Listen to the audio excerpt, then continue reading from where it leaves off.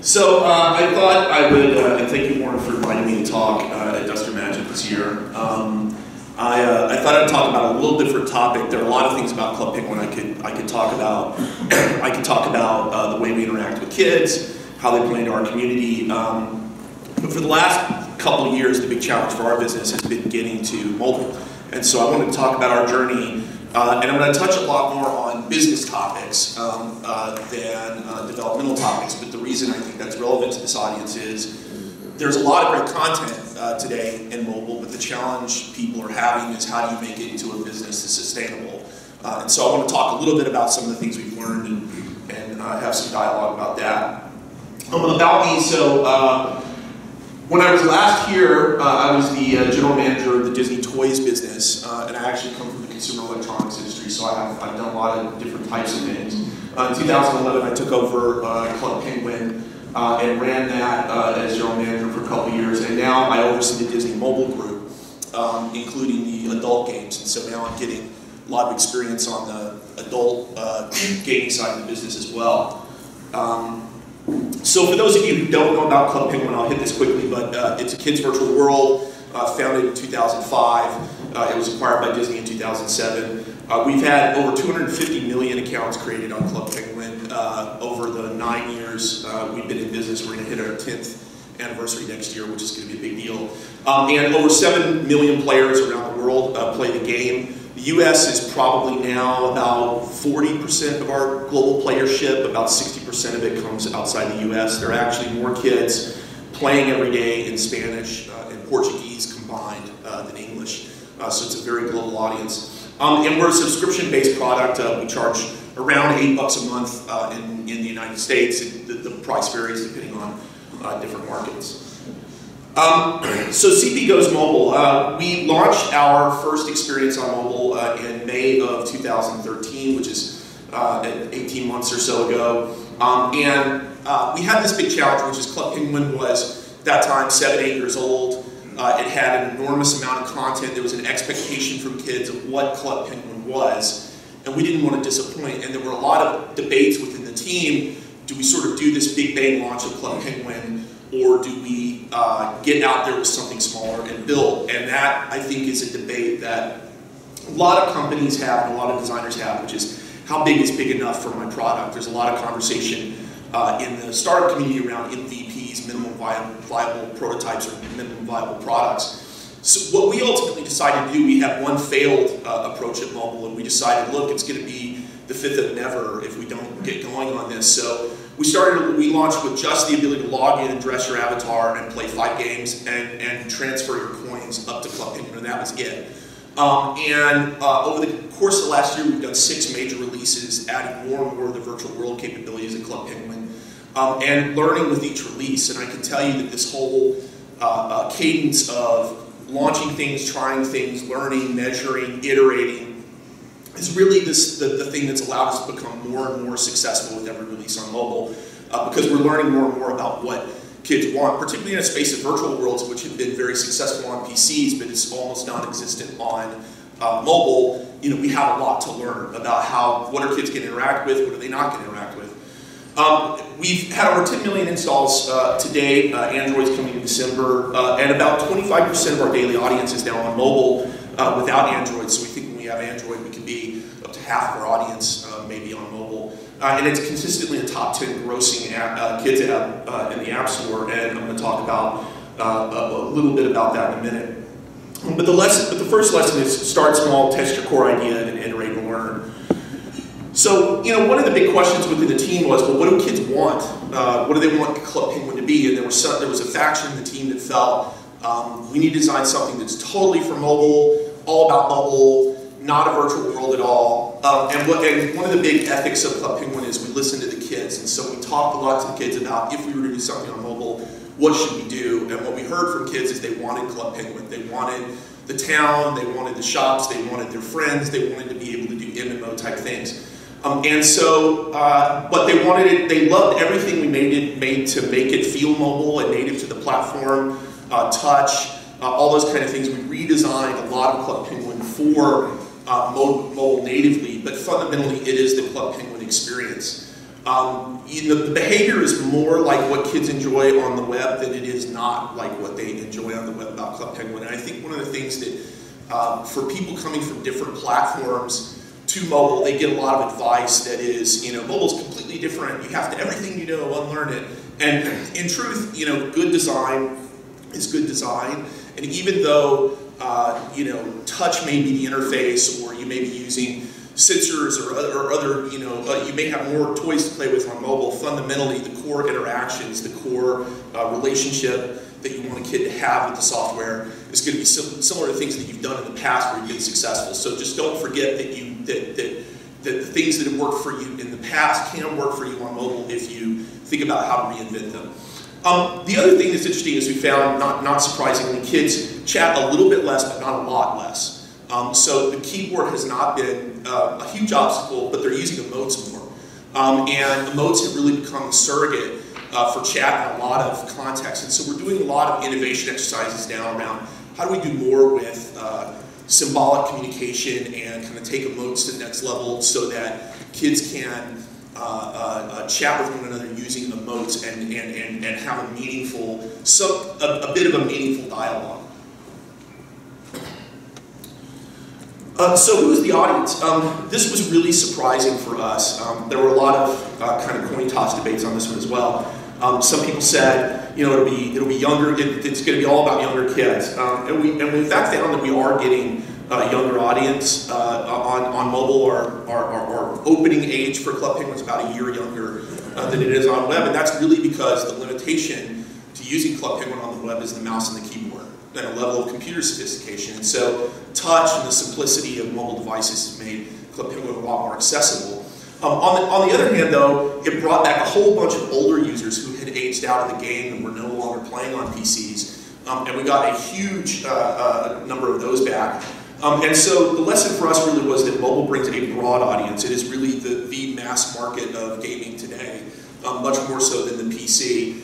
Um, you know, uh, uh, and half of our new installs are uh, are, are, coming from, uh, from, from mobile. So half of all new players in the Club Penguin. So if you think about the stat I said earlier, about a quarter of, day, of our daily audience is uh, playing Club Penguin on mobile, but half of our new players are coming on mobile. Disproportionately, growth of Club Penguin is coming from mobile.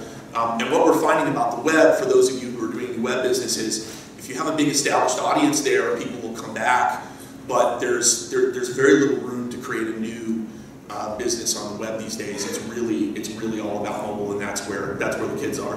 Um, the other thing, Club Penguin has always historically been 50-50 boy and girl, um, and we see that on mobile as well. Um, we we the, the, penguins tend to be uh, very gender neutral, although you can accessorize yourself in gender specific ways. Um, because of that, we've always had a really broad audience as opposed to a kind of a niche niche boy or girl product. I saw uh, an article the other day about Toca Boca talking about how gender neutrality has been key to their appeal and sort of getting a lot of installs in the App Store, and I would say the same is true. Coming from the toy space, uh, where I used to work with Christopher Byrne, the, you know, the, the industry was oriented around boys and girls and pink and blue aisles, and mobile almost, while, while, while there's certainly areas for gender-specific play in the App Store, mobile almost works the opposite way. You want to get the broadest install base you can, and so gender neutrality works in your favor there. Um, so this is the slide that starts to talk about uh, business. Um, on the left, I have uh, the top 10 grossing apps in, on iOS uh, for the month of October. Um, and uh, if you look at the, at, at, at the top 10 grossing apps for the month of October, they have a pretty common theme, which is only one of them is a paid app. Um, free has really won in the App Store. Um, the kids category has been the last holdout for paid downloads. Um, but if you look at the number one paid uh, app uh, in, the, in the kids space in the App Store uh, in October, Penguin got six times the installs uh, of that app. And you say, well, you know, do I want a bunch of installs that are free but not paying? And the answer, uh, my answer is yes, because what we find in the kids space is what primarily drives uh, uh, take up by kids is, is playground buzz. It's kids talking, evangelizing to other kids about something that's great. And so what's always worked for Club Penguin is even if you're not paying, you can be playing and contributing to the community.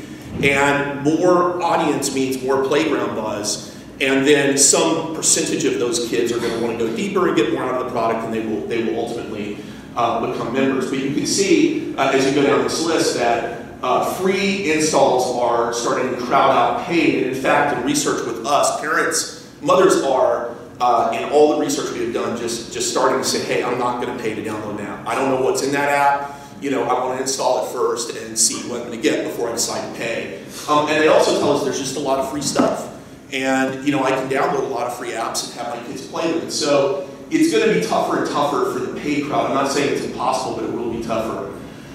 Um, the other thing is, you know, I really believe IAP is not the enemy, um, and it can be done uh, ethically. We've done, uh, um, you know, what you might call free play in Club Penguin for years. We've done it in a very, uh, we, we've been very respectful to kids. Um, we've been very non-manipulative in our approach, and the, and the, legal entities around the world that regulate these things really look at Club Penguin as the gold standard for how we uh, deal with uh, commercialization of our product. And uh, you know, I, am a believer that the free plus uh, optional buy-in model can work very well in the kid space, but you have to do it right.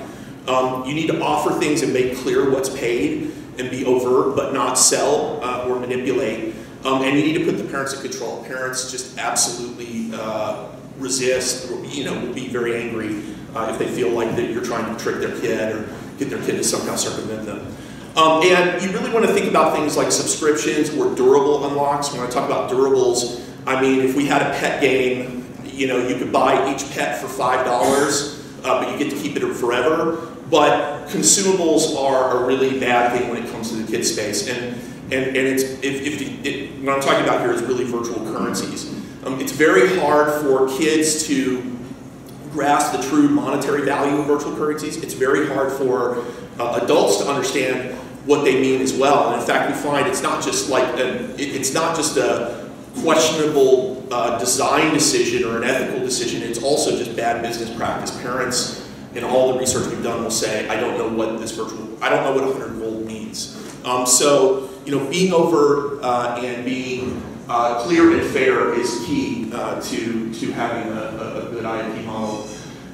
The other thing, uh, if this, if I can press one thing on you, is that I really uh, believe that you have to look at apps as uh, living apps. Mobile apps are living apps. Um, I think one of the biggest mistakes app developers make is that they make a make a make a make a game or something that's a toy that can be played with one or two times. It gets installed, it gets played, and the kid never comes back.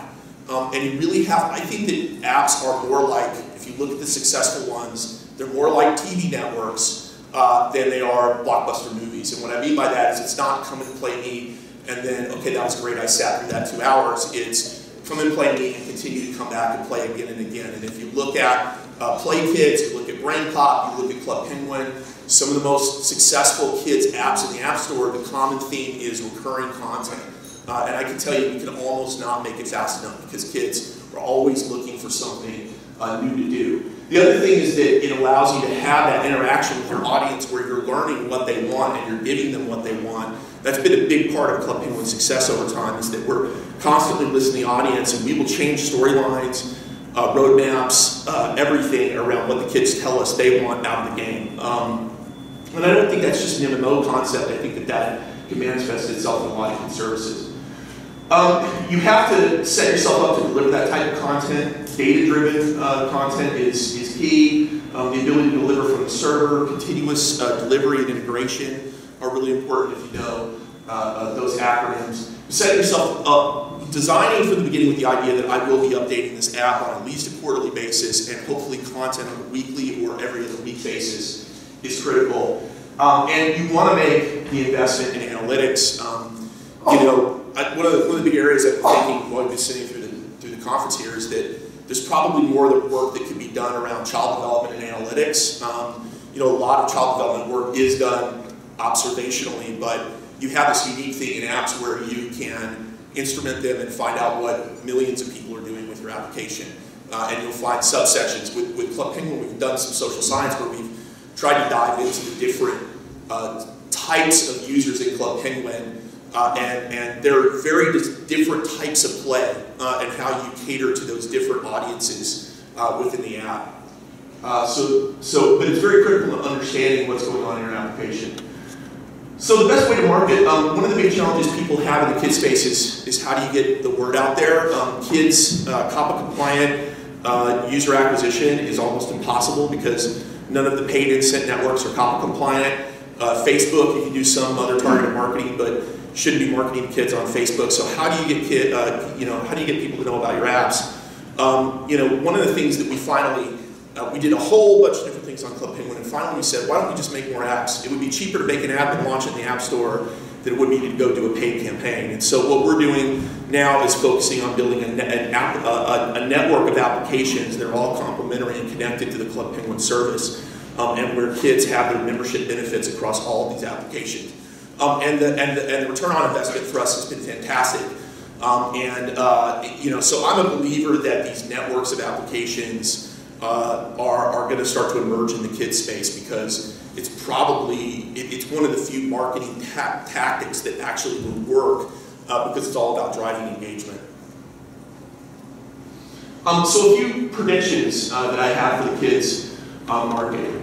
Um, the first is kids uh, app networks are, are going to rule the, cat, uh, the category. I think you're going to see many uh, applications all connected uh, around themes or curriculum or brands. Um, compliant social, I think, is not far away. Um, it can be done, uh, and I believe it will be, and we are doing a lot of work in that area. Um, it's very important because what we're finding in research is that in lieu of safe places for kids, you know, if you think Club Penguin was, the original premise was safe places for kids to play online, um, in lieu of a safe place for kids to be social with one another online, they're using Snapchat. And we did uh, focus groups two weeks ago, and mothers were, we had one mother who actually fell out of her chair, I kid you not, when she found out her kid was using Snapchat. Um, and, and, you know, a lot of parents don't really understand the implications of these things and how, how it can go wrong. And so it's important that social uh, ways for kids to be social and safe emerge, and, and I believe that's going to happen in the next year or so. Um, I predict that subscriptions will overtake paid and IAP in the, in the kid space. Um, there are challenges that on the on, on, on the Apple platform. There are less challenges on the Google platform.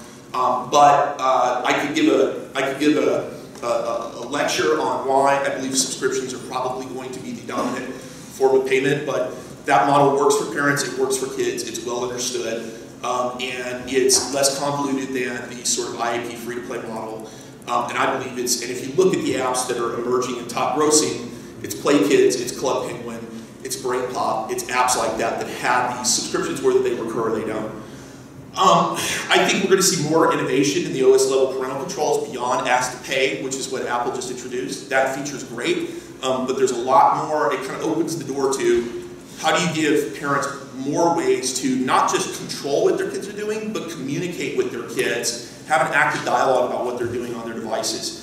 Um, and that kind of takes me to the next major space that I think is going to happen after kids uh, safe social, which will be family connection. And you know, one of the things that I'm very interested in is how do you get, so if everybody in the family has devices, how do you get them all playing and interacting with one another? Um, and you know, I've had a lot of people tell me, well, parents don't want to play with their kids, but you know, it's a point that was made earlier about Disney Infinity. A lot of us grew up with gaming. There's no allergy to gaming, um, and it's not just about gaming, but these social these social conventions are just part of our culture now. It can be used to create connection uh, with your kids when you're away, like I am now uh, at Dust or Magic. So uh, we're really only at the beginning. I think that the, the adult space had to mature, uh, and I think the next five years are going to see an absolute uh, revolution in business models, social models, uh, and an explosion of what you can do in kids' apps beyond what we can do today. So that's my speech. Any questions? Amen, brother.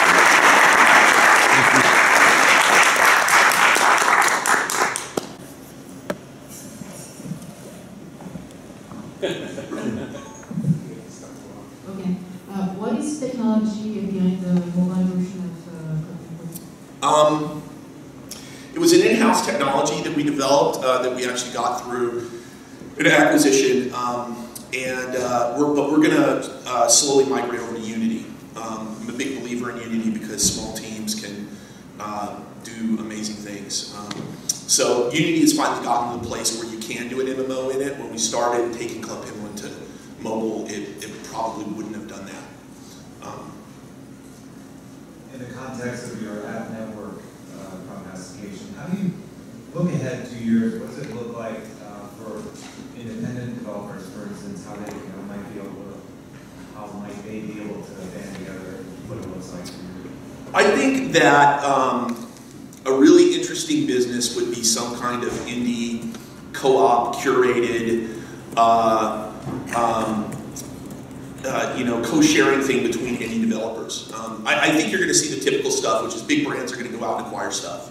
The only reason you haven't seen them roll up in the kids space so far is that the business models don't exist to make it profitable enough for the big companies to want to go buy a bunch of stuff. So when, when and if those models develop, you'll go see a roll up of the kids category. But I think that as long as uh, you know, as long as Apple keeps an editorial approach on the App Store, there will always be a place for indies, and, and I think that's a wonderful thing. And and if some of those indies band together and create some kind of co-op uh, at network of apps uh, in a COP compliant way, which could be a trick, um, uh, I, I think that there is a place for that. I also think there's a place for curation. I mean, you know, I was thinking today about, uh, you know, you go to the app, all the, you know, you guys are all sitting up here talking about these are all the great apps. None of those are the apps getting featured in the App Store today.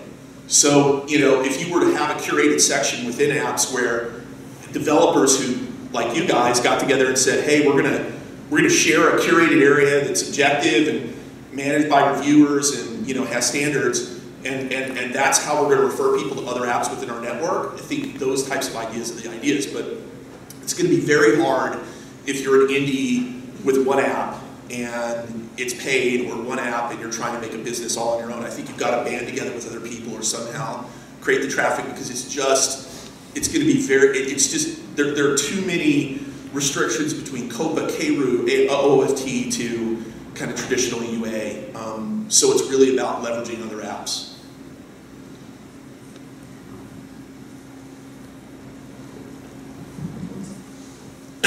Sorry, but just clarification. Is there a subscription? You get the app and then you still have to subscribe or? You never have to subscribe to Club Penguin. Um, so in Club Penguin, there's a velvet rope, and we have certain virtual items and features that if you are a uh, member of Club Penguin, a paid member, you get access to. But if you're a non-member, there's a there's a there's a lot of content. Probably 80% of the content in Club Penguin is free. Um, so uh, you never have to pay for Club Penguin. And what and actually one of the coolest things that we've done is um, we try for the longest time the velvet rope felt like a slam. So it was like uh, you get up to the point of like I want something cool, and then you can't have pay me. The, the, the then we reversed it and we said, what if members could do cool things for non-members? So we had this thing last year when we were doing our um, uh, our, our annual Christmas event where we do a big charitable component uh, called Coins for Change, and the members uh, who are the paid members, you could have it. You could get a train, and you could take the non-members on your train. So the non-members could get on your train. You could go into the, on the special train track, and then everybody would throw snowballs at these balloons that had coins attached to them. The coins would fall and get collected, and that would be what we donated to charity. And so what was cool about that is members could feel special because they were doing something for the non-members. Non-members didn't feel excluded. They were included. In fact, they were making content for the members because they were there giving their time and their presence, and then collectively they were doing good, good things for, for kids. So, um, you know, we're looking for those. It's, it's, a, it's another thing I could give a dissertation on, sort of velvet ropes, but, but, but we try to make it um, that where being a member allows you to do cool things for other people as opposed to uh, being better than other people. Okay, one more question. You said um, the connection of different apps. Mhm. Examples of, I mean, it's not just one Club Penguin app. So we have one, we have two apps in the App Store today. We have the Club Penguin main app, which is the MMO, and then we have another app, which is a sled racer app. And the app is uh, an endless runner. You play the app, and at the end it says, "Hey, you got, you know, here's your score, and if you like Club Penguin, go over here." Um, and we found that that method of referring people off to the main Club Penguin app has been more successful than other types of marketing we've done. I got one more back here. You, you talked about within the app purchasing consumables and durables. Um, you, I assume since you're focusing on durables, it's doing a SaaS model.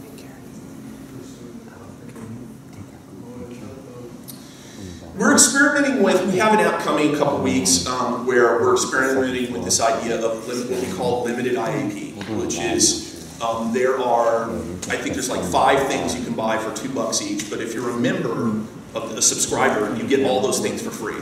So we'll never charge you more if you're a subscriber.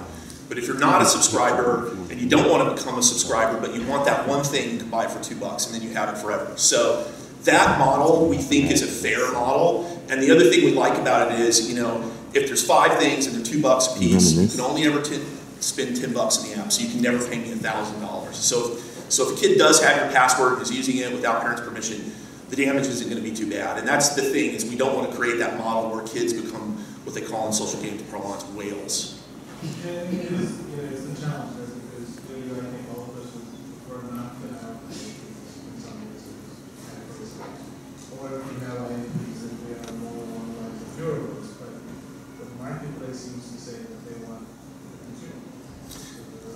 I don't know that that's true in kids, and in fact, I would say that, that where that business model has been tried, it's never. Um, and the reason is that kids don't, kids have a hard time explaining to parents what the consumables are. Parents don't see value in it.